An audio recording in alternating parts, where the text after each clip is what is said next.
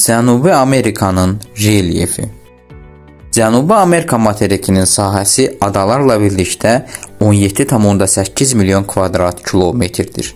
Uzqar nöqtələri şimalda Qalinyas, cənubda Freyord, şərqdə Cabo Branco, qərbdə isə Parinyas burunlarıdır. Sahil xəttləri az parçalanması ada yarımada dəniz və yaxud da körfəzlərin az olmasına səbəb olmuşdur.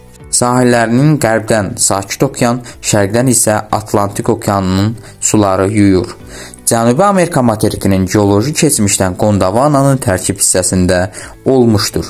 Materikin qərbində Sakit okean sahili boyunca 9000 kilometr məsafədə dünyanın ən uzun dağ sistemi olan Ant dağları uzanır.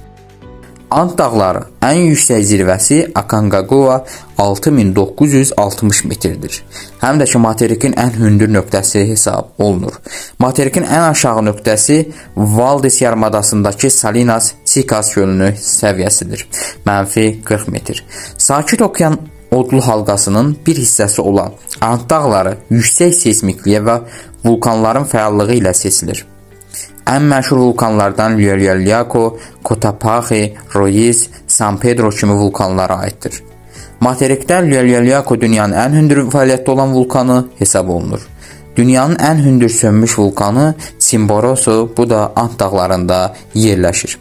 Materikdə yerləşən düzənliklər Peru, Puna, Bolivya, Amazon, La Plata, Orinoco, Braziliya, Patagonia, Guyana kimi e, düzənlikləri misal göstərmək olar.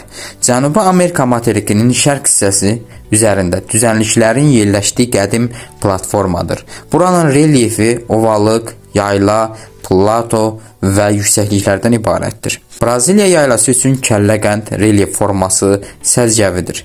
Kəlləqənd relyef forması intruziv maqmatik suxurların səthə çıxması və aşınması nəticəsində əmələ gəlmişdir. Viyana yaylasında yerləşən masavari dağ dağlar tepuilər adlanır. 800-1800 metr yüksəkliyində malik olan bu dağlar kimyəvi və fiziki aşınma və axar suların fəaliyyəti ilə yaranmışdır. Materik faydalı qazıntılarla yaxşı təmin olunmuşdur.